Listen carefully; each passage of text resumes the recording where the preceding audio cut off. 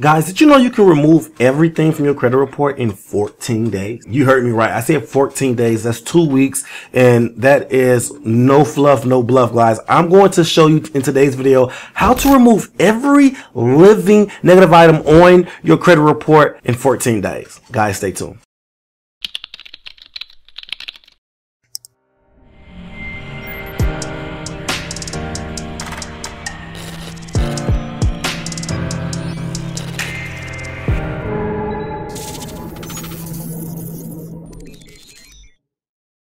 Welcome back to the channel, guys. If you're new to the channel, I'm Credit Coach Q, and I created the first cloud-based software that allows you to put your credit repair experience into your own hands. If you're new to the channel, guys, I'm super, super excited because I have a banger. In today's video, we're going to talk about how to remove every negative item on your credit report in less than 14 days. But before we get into the video, guys, please like and subscribe to the channel. It allows us to reach a wider audience. It allows YouTube to push this content within their algorithm and allows us to leave these lights on, guys. Please like and subscribe to the channel. Thank you. Now, let's dive dive straight into the meat and potatoes of this video. Now, if you have anything derogatory in your credit report, I mean, anything negative, charge-offs, late payments, bankruptcies, medical bills, guys, you name it, please go over to mycreditapproved.com. It's the website and the software that I was telling telling you about that allows you to put the full experience to your own hands. Guys, people are removing thousands of dollars worth of debt by themselves. They are no longer using credit repair companies. They are putting this information and this experience into their own hands and appreciating on a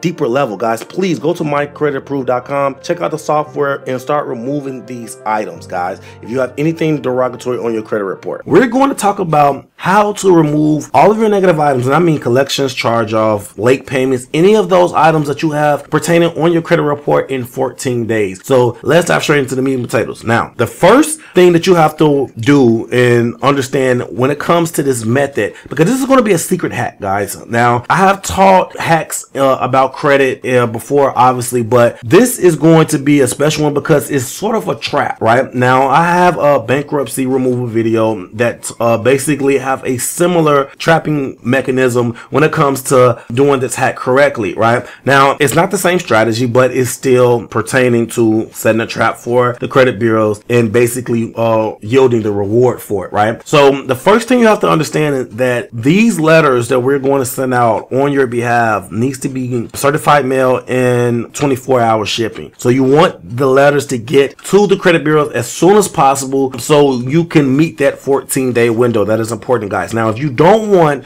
to send out your credit um, letters within a, a 24 hour window, you can send it out a priority mail and the time frame would be probably 45 days, 30, 45 days to get the results you want. Now, let's dive straight into um, the meat and potatoes of, of actually how to start the method, right? Now, I'm going to basically go into my back office and give you guys a full rundown, a step by step on how you can actually not only use this strategy, but use the software that I was telling you about to remove these items, guys. Like this software that I created is probably the best software in the industry. I, I honestly think that is best. Um, but I am humble when it comes to um, my baby. But in regards to all of that, guys, I'm going to show you how to use the software and exactly how to pick out the letter that you want and use it step by step to remove these items, guys. Stay tuned. Welcome back to the channel, guys. Now, like I said, we're going to set a trap for the credit bureaus to remove any and everything, right? Before we get into the trap, I want to give you guys a full breakdown um, on what to expect going forward so it makes sense, right? So first thing first, um, this is going to be the My Credit Approved software that I told you about in the beginning, the software that I created that allow you guys to remove everything. Um, this is going to be the easiest and the fastest way to get those results and to set that trap essentially, right? Okay, so the first thing you want to do is log into the My Credit Approved app, import your negative items. Once you import everything, the screen will look like this. We're going to scroll down. We're going to go to create letter. Now, while everything is loading, you want to basically go to round two and scroll all the way down. This new trap letter is going to be all the way at the bottom. It should be the very last one. Um, and then for example purposes, we're not going to dispute everything, right? We're just going to dispute one item. And I want you guys to understand one thing first, right? I want you, you guys to understand one thing before we go for it with that. This is going to be the credit report that you're going to need to look at prior, right? And what you want to do is make sure that you pay attention to the date is open, the last reported date, and the last active date, guys.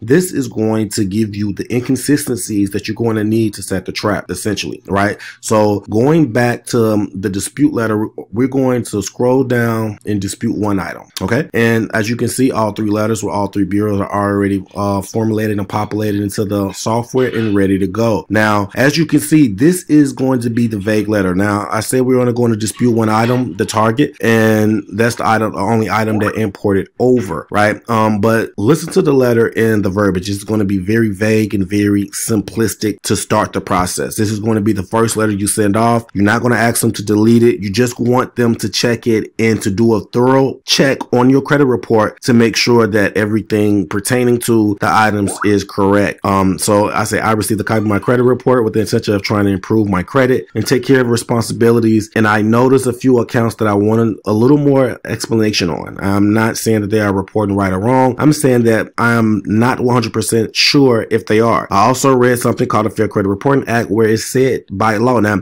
guys, you want to make sure that you are paying attention to the way this letter is written. This, the letter is written as if it's by a consumer, not an attorney, not a paralegal, not anyone professional. is written by someone that's actually you. Now, the CFPB have did a, an investigation on the credit report, and they're not responding to um, letters sent by credit repair companies. They're not responding to letters sent by um, anyone professional because most of the time they send out templates and it makes the letter disingenuous. So that's why this letter sounds like that and is written like this, right? Okay, so some of the people reporting things on me, I've I've never heard of which made me write to you all. Are you familiar with something called the 15 USC section 1681 IA? I heard that you can't provide proof. If you can't provide proof, these accounts must be deleted. So this is the letter that we're going to send out. So we're basically asking them to check everything on the credit report and make sure that everything is correct, right? Now, like I said, you are going to pay attention to the date that was open, the last reported date, and the last active date. Now, the reason I say you have to pay attention to this is because these are going to give you the inconsistencies that I stated before. And as you can see, the date that it was open for TransUnion, it said is 1207. On Experian, it says 1201, and Equifax, it says 1201. Last reported date says 422. Sorry about that, guys. Yeah, so the last reported date says 422 and 401. So as you can see, guys, these dates have inconsistencies all the way through. And everything in your credit report, as you know, needs to be 100% accurate, 100% timely, and 100% verifiable. So right now with this letter, you're asking them to verify everything on your credit report, right? Okay. Now, once you send out the letter and basically you print this out and you're going to send it off. And once you do that, guys, you are basically going to put yourself in a great position because they're going to do a full check on your credit report. Now, during the check, what they're also going to do is basically give you a result within the first 30 days. Now, the, the results are going to come back and don't be too hung up on the first month results because like I said, it's a trap. And as you know, once you set, you have to actually set a trap in order to actually yield um, what you actually trapping, right? So this letter is the trap. You're asking them to verify everything on your credit report. And if they don't verify it, they are in, not in accordance to the CFPB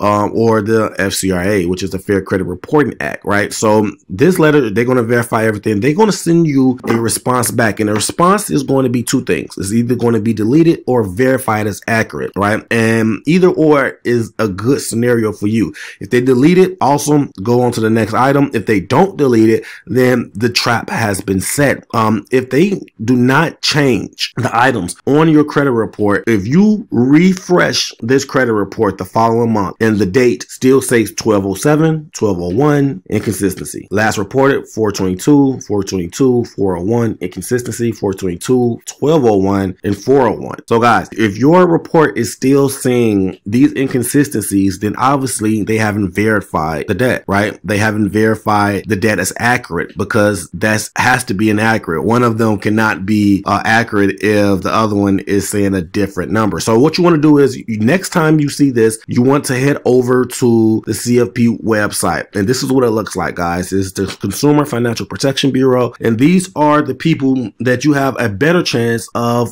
getting the items removed. It's not the credit bureaus, guys. The credit bureaus only respond to 2% of the dispute letters they actually get, but the CFPB have to respond to everyone and do a thorough walkthrough of all of the investigation. So what you want to do is you want to go to start a complaint and you basically want to start a new complaint and you put your information in right here, right? And then once you put your information in, it's going to send you over to a um a account where you have to basically put all of the information pertaining to the to the investigation. So I'm going to log in. I'll be right back. Give me one sec. So basically, you you going to actually log after you log in is going to look like this screen here. You want to click credit report, and then you want to go credit credit reporting. Click next. Let it load up, and then you want to go with improper use of your credit report. Right, reporting company use your credit report improper. Yes, sir. Have you already tried to fix this problem with the company? Yes, you have. And we're going to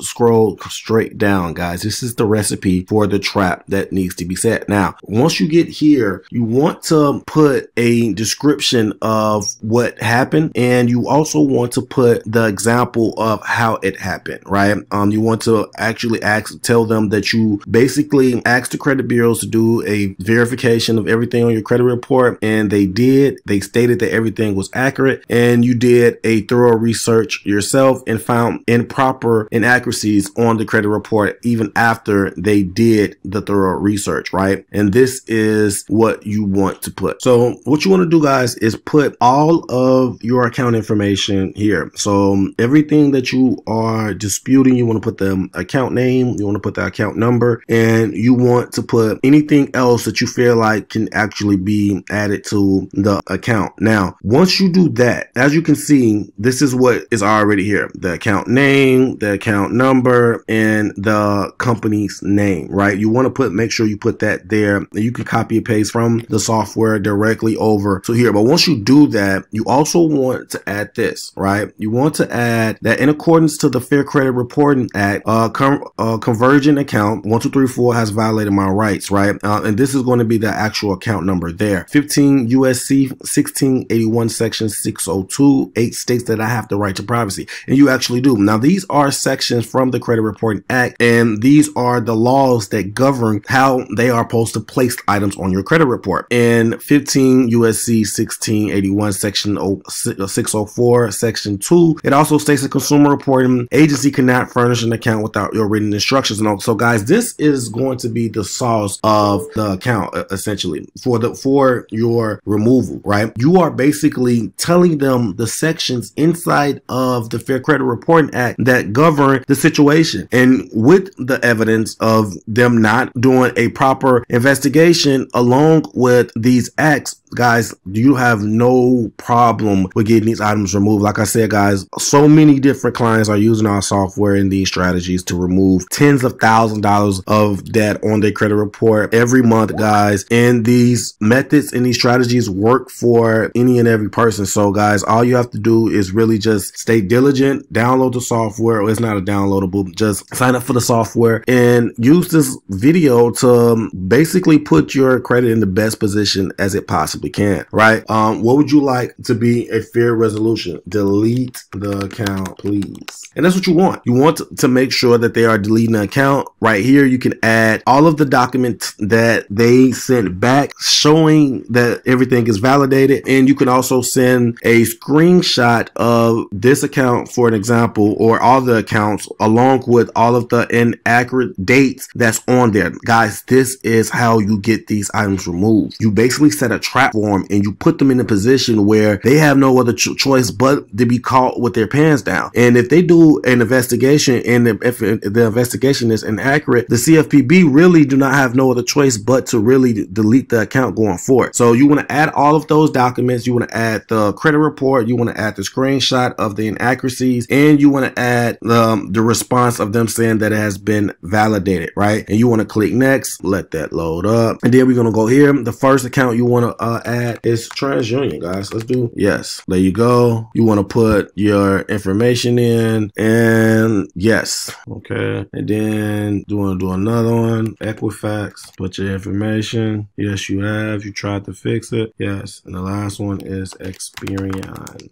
Okay. And then you click next, guys. You want to put the information in as it pertains and just continue to go down. Now, I don't want to go um, log completely in because this is my CFPB. I created one to do this video and I don't know was is down below. So I don't want to uh, scroll down no further. But guys, this is the, the fifth out of the step step. You don't have to add any more sauce. You just scroll down and finish the complaint and send it over, guys. And I guarantee you that the guy, that the information that you are going to present and the evidence that you're going to present to your case for the Consumer Financial Protection Bureau is going to get these items removed directly. And that's how you remove these items within a 14 day process, guys. If you have any other questions, please let us know. We definitely help with the um, dispute process. Um, we also help with actually guiding you with the software as well. Just let us know um, in the comments and also uh, let us know in the email below. If you want to set up a consultation, you can do that as well. But until next time, guys, take care your credit and take care of yourself. Credit Coach Q out.